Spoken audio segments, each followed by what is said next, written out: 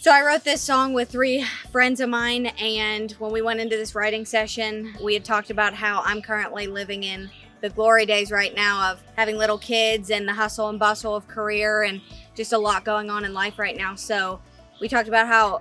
glory days is normally something you reference back in the past to like oh those were the glory days. And so i wanted to write a song and really connected with the idea of saying well we're living in the glory days right now. And so when the song really came together i just knew that i was destined to write this song and be a part of it and definitely release it as my new single. So i'm glad to do that